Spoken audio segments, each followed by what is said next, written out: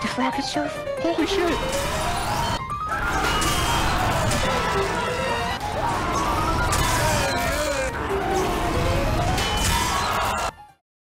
Cheers, mate!